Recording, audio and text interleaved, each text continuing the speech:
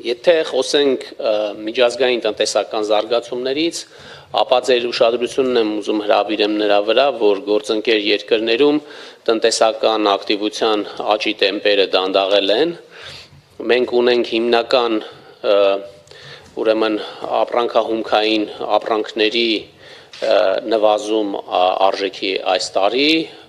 պղնձի միջազգային գները այս տարի նվազել են 5.4%-ով, նավթի գները նվազել են 20.8%-ով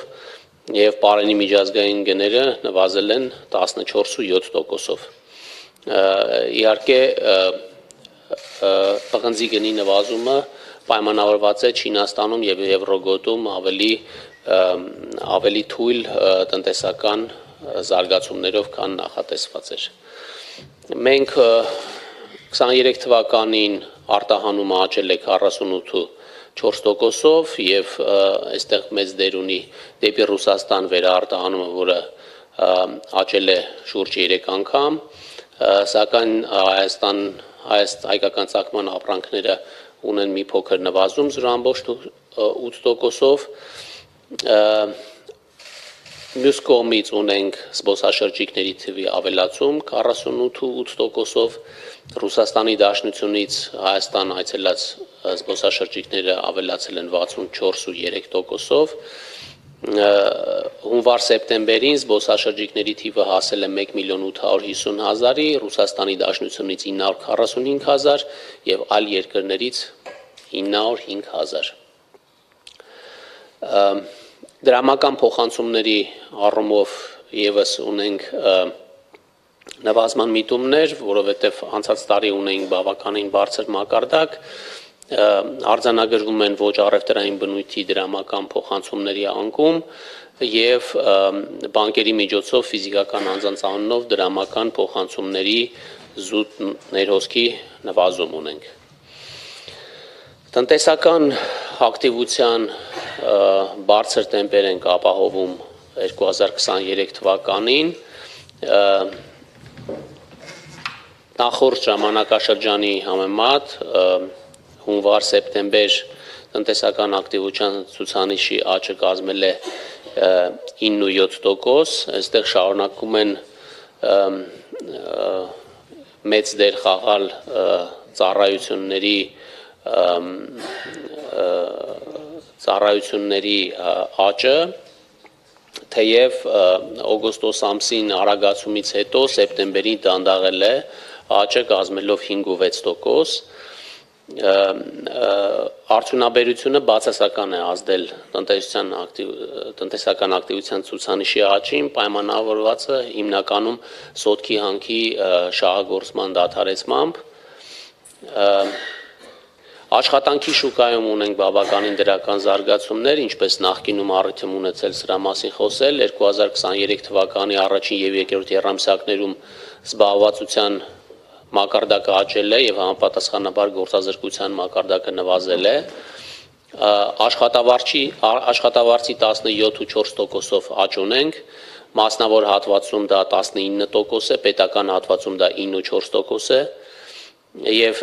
իրական աշխատավարձը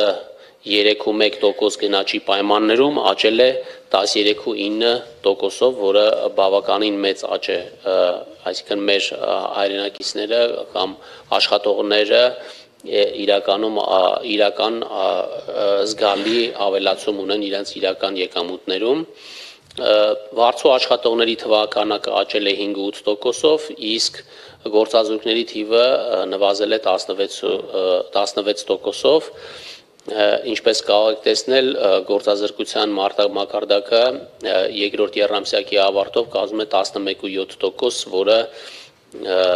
կարծում եմ պատմականորեն ամենացածր ցուցանիշն է Հիմա այս ամեն ինչի հիման վրա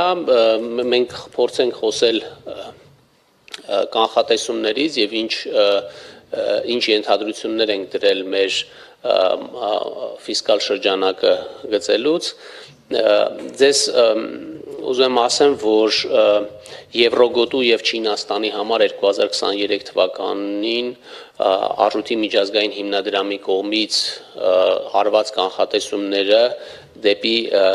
ներքև են, այսինքն սկզբում կանխատեսվում էր, որ ավելի բարձր աճեր կլինեն, բայց 23 թվականի համար Եվրոգոտու տնտեսական աճը անխատեսվում է 0.7%, իսկ Չինաստանի համար 5%։ 24 թվականի համար ունենք էլի դեպի ներքև գնացող կանխատեսումներ, եթե տարվա սկզբում 24 թվականի համար համաշխարհային տնտեսական աճը կանխատեսվում էր 3.1%, ապա հիմա կանխատեսվում է 2.9%, Եվրոգոտու տնտեսական աճը արդեն կանխատեսվում է 1.2%, Ռուսաստանի Դաշնությանը 1.1% եւ Չինաստանինը 4.2%։ Միայն ԱՄՆ-ի կանխատեսումներն են, որոնք մի տոկոսի փոխարեն դարձել են 1.5%։ Սա նշանակում է, որ մեր առևտրային տնտեսական գործընկերների մոտ տնտեսական բար ժամանակաշրջան է եւ մենք պետք է այնպիսի քաղաքականություններ իրականացնենք, որպիսի այդ դանդաղումները աճի, մեր վրա մեծ ազդեցություն չգործի եւ փոխարենը մտածենք նրա մասին, թե ինչպես կարող ենք մենք օգտվել այդ իրավիճակից։ Այս ամենի հիման վրա կանխատեսվում է, որ պղնձի միջազգային գները 3.6%-ով կնվազեն 23 թվականին, 24 թվականի համար 1.9%-ով Նավթի միջազգային գները նույնպես ինչպես ասեցի նվազել են 23 թվականին եւ 24 թվականին մի փոքր էլի նվազում ենք ակնկալում Պարենի գներն են շարունակելու նվազել 2024 թվականին 2.8%-ով, սա այն հիմնական ենթադրություններն են, որոնք դրված են մեր կանխատեսումներում։ Հիմա ավելի Հայաստանի մասին խոսելուց մենք իհարկե ինչպես գիտեք միջնաժամկետ ծախսային ծրագրով արել ենք հիմնական կանխատեսումներ հիմա արդեն բյուջեի նախագծի մեջ փոխել ենք մեր ենթադրությունները ապրանքների արտահանման հետ կապված մեր կանխատեսումները ճշգրտել ենք դեպի ներքև եւ դրամական փոխանցումների մասով նույնպես ճշգրտել ենք դեպի ներքև փոխարենը զբոսաշրջիկների հետ կապված կանխատեսումները ճշգրտել ենք դեպի վերև եւ ակնկալում ենք, որ արդեն 2024 թվականի արդյունքներով